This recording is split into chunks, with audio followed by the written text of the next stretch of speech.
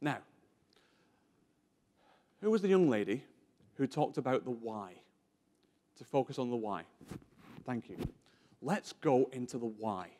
Let's meet Tom's private life. Let's see what's going on behind the scenes. When Tom's Manufacturing closes for the night, what goes on? Well, what goes on is that Tom is a family man. He's married to a wife that he adores. Couldn't believe that he was lucky enough for her to agree to spend the rest of her life with him. Feels, feels fantastic about the relationship. They have two beautiful children a daughter and a son. They love the children very, very much. It's a close knit family. The family do all they can to support Tom in his efforts to grow the business, to provide the family with a standard of living that they would revel in. They have a fantastic unit there. Except that Tom lives in this house here. This is known in England as a semi detached house, which means it has another house on one side of it. The problem is, is that Tom has reinvested a lot of money in the business. It's been profitable, but he's kept it in the business. He hasn't taken it for himself. So he's lived quite a frugal life up to now as he's got the business moving. And because he's lived a frugal life, they've stayed in that house, which is big enough. It'll do. It's fine for now. But there's a problem, and the problem is the neighbor. The neighbor is not married and has no children.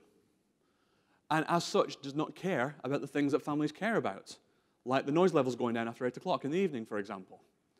And he's a bit of a big guy as well, and he has big guy friends.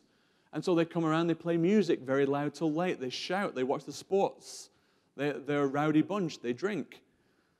This causes huge problems for Tom because Tom is already having a hard time switching off from his business, but now his children can't get to sleep either. He's tried to reason with the man next door, but the man next door is not a reasonable person, and therefore his attempts have fallen on deaf ears. This has caused stress for Tom and Tom's wife. The children are obviously not getting the rest they need. They feel a little bit scared about this noisiness next door. They're not quite sure how to process that, what that means. And there's been some unsettling going on in the family behind the scenes. This problem is complicated further by this avenue here. This is a little uh, what we would call a ginnel into a cul-de-sac where Tom's daughter comes from home from school each day. Now, the problem with Tom's daughter is she's very bright. She's very alert. She's a lovely person. She is very popular. And there's certain girls in school that do not like this. And as a result, those girls who aren't as bright and aren't as popular wait for her in the ginnel there, on the corner, out of sight. And Tom's daughter has got a severe bullying problem.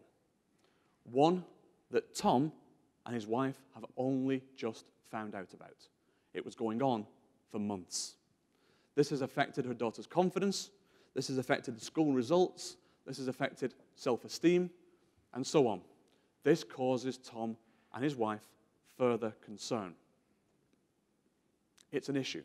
But still, Tom's got to be ready in the day to go to Thomas Manufacturing and keep it moving, keep the team engaged, know where the business is going, keep a hold of the key uh, performance indicators of the business. So, let's have a look at what needs to happen.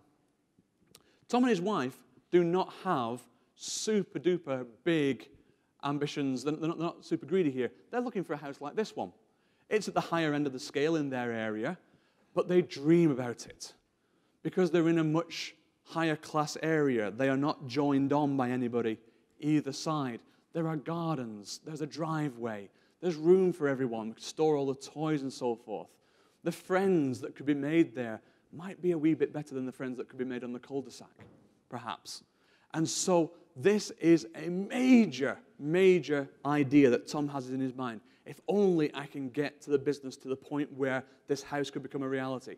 Imagine the relief on my marriage. Imagine the relief on the children. Imagine the relief on me, and imagine the relief on Thomas Manufacturing. Huge, huge deal. Let's go back to our accountant. The accountant understands this, gets to know Tom, makes a simple phone call as part of a client a day program. I don't know if you remember the phones, these things that you talk to people with. And they reach out to one client per day. And the day they reached out to Tom, Tom was having a bad day, and Tom spilled his guts. And we found out all about Tom's issues. When the accountant knew this, the accountant saw an opportunity and got closer to Tom and decided to help out.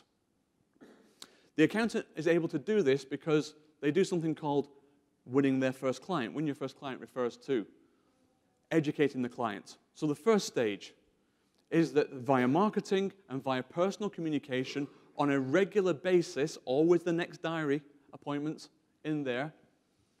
Now, when Tom is asked after this conversation, what does your accountant do? He says, well, they do audit, accounts, and tax. And they also do forensic accounting and corporate finance and business support. I don't know what any of those things are, but if I need them, my accountant's told me that's the thing they do.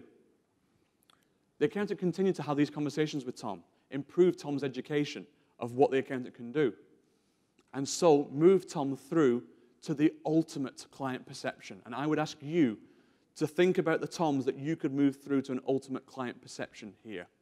They had meetings, they explained how they could help, they saw the needs of Thomas Manufacturing, both from a business point of view and a personal why point of view. And it became a big deal. So now, when I asked Tom, what does the accountant do? He says, well, the last six months, Martin, have changed it all. You should see it now. They, you know, take care of my relationships with government authorities. They got me out of my overdraft at the bank. They got me my personal guarantee back, so my house is not um, guaranteed against the business anymore. They showed me how I could afford that new house of mine. And we've actually going to move into it soon. They found me venture capital funding, and ultimately, he'll be able to say that they secured my successful exit from the business, and now the new owners are taking it forward further than I could.